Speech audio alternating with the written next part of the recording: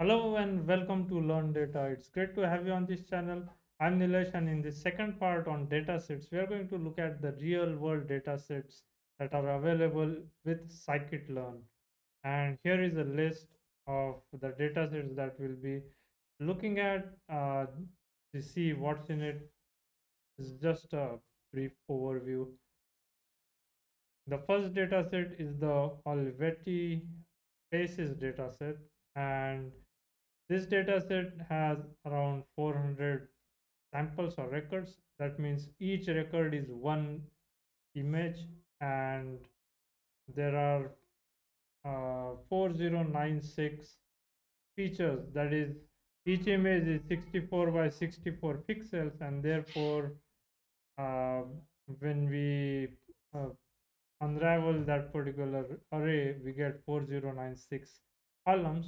Those would be features and then there are 40 classes. So as you can see in this uh, data frame below uh, these are the columns 0 through uh, 9 are shown but they'll go all the way up to 4096 uh, and this is 4096 here is the target column because uh, we are starting with 0 so 4095 would be the last pixel for each image and then 4096 is the target column that I've added on to this data frame which has 40 classes. And uh, here I've added a short snippet of code that shows uh, how to load that particular data set in previous uh, video we saw that we use the load command. Here we are using the fetch. The fetch underscore olivetti underscore faces that will pull all the data and put it in the variable data right here.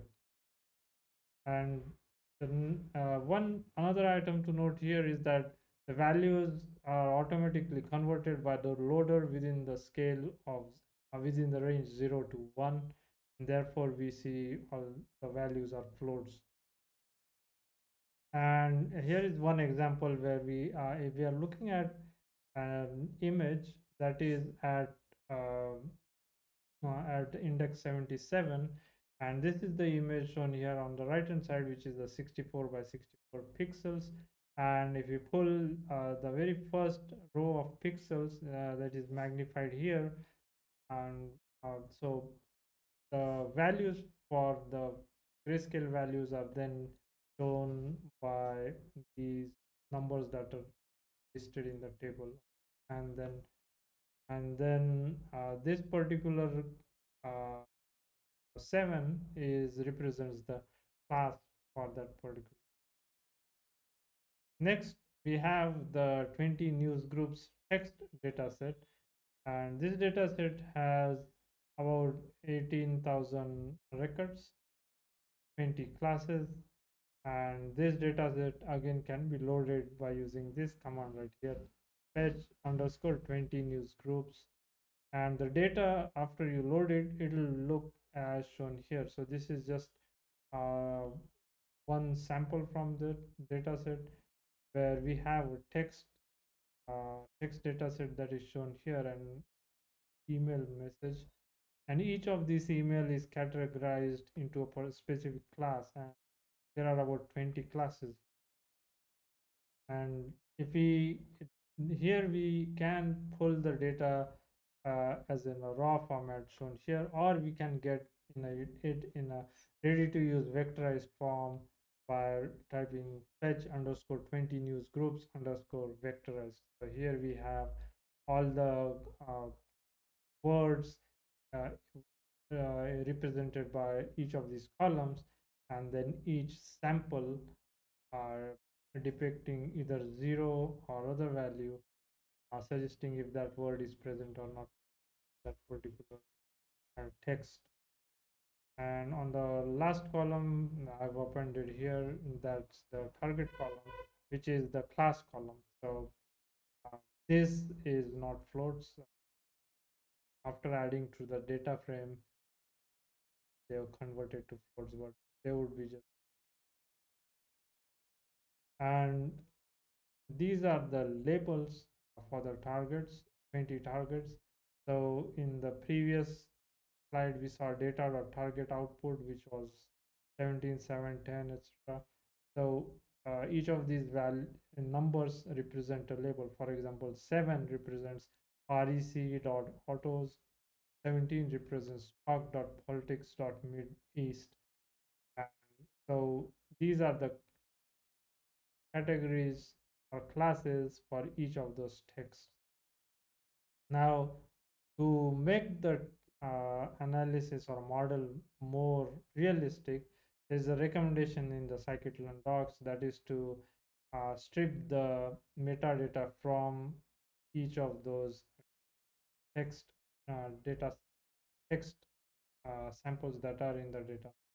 So that can be done automatically by specifying remove is equal to headers footers and quotes so what this does is uh, it makes it difficult for the uh, model to train in the sense that will avoid overfitting because if there is a head specific header for each class that easily identifies that particular uh, email belonging to that class then we are not really looking put we are not really putting more emphasis on the text uh, itself but we are relying on the information header as header to do the classification. So if we remove those headers footers and quotes then maybe we are general um, the model would generalize more to unseen text.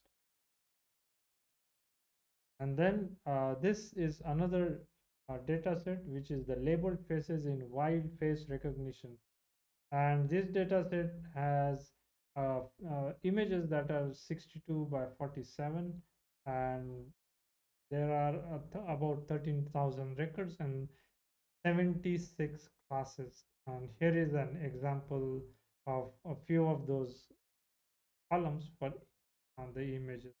On and on the last column right here that's the class. So they're represented here. The first image uh, at index 0 belongs to class 21 and to load this data set uh, the command is fetch underscore lfw underscore people.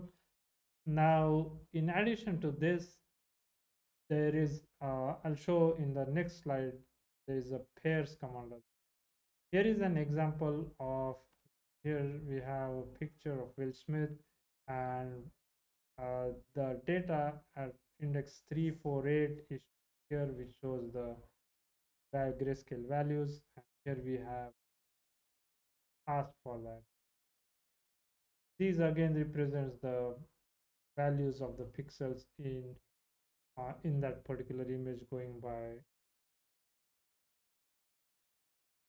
And in addition to the fetch underscore lfw underscore people there is another option which is pairs so what this does is it puts the data such that each sample is a pair of two pictures belonging to uh, be either belonging to the same person or not belonging to the same person. I tried loading this but ran into errors. So probably this needs uh, you to download the entire data set on your computer and then this command will read from that directory to load it on maybe Jupyter notebook. This is another data set which is called forest cover types and this has about 100,000 records, 7 classes and 54 features. So here from 0 to 53 those are the features. And then target is the last column which is the 7 classes. And to load this data set have the command fetch underscore cov type. And this again uh, can be used for classification this is another data set rcv1 that's the reuters corpus volume 1 and this is a large data set. We have around 800000 records 103 classes and there are around 47000 features. So these uh the the uh, the data set contains about 800,000 news stories uh, that can be used for and yep so that's the rcv1 dataset.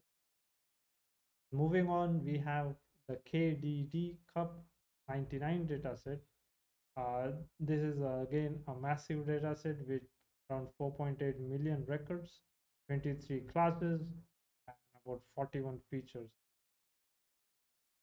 These are uh, shown here. We have some of the columns shown here so we can see what the data looks like. Uh, we have some which are text uh, columns. So we have one two three. Of those are text and these are integer numbers. Some are floats then the final column is the target column. There would be 40 23 classes. And to load this data set again we would use fetch underscore kdd cup 9 these are some examples of the classes. Normal buffer overload load module etc so this is a good data set again to models get some practice. Then finally, uh, we have the California housing dataset, a comparatively smaller but still substantial number of records. It's 20,000 records, eight features, and you can see those listed here. We have target, which uh, float, and so this would be then regression type of data set. So you can train regression models on this. To load this data set, you would fetch underscore California housing. So finally, code snippet. This is showing this here, which is similar to what we have seen in the past video. We have data sets is equal data sets dot fetch underscore California housing. That's one way to load it. Other way to load it is by using the return underscore x underscore y is equal to true that puts the data in X, target in Y. Then same thing here, if we use variable data, then data dot data would give you the X values and data dot target would give you the Y value. Uh, another point I want to make here is that in each of these methods that are listed here for fetch for each of these uh, data sets, there are additional arguments that you can pass uh, that will allow you to allow you to uh, get the data either fraction of data or uh, you can get a resized data or you can get any other variation of the data that the loader is capable of outputting. So you definitely want to check out what arguments each of these take if you're gonna use so i hope this was helpful to you to give you just a brief overview of what type of real world data sets are available within scikit-learn so one thing is very clear that we have um, not only small data sets but we have massive data sets with millions of records that we can play with while working with different types of supervised or unsupervised learning library please like share and subscribe. I hope to see you all in the next video. Thank you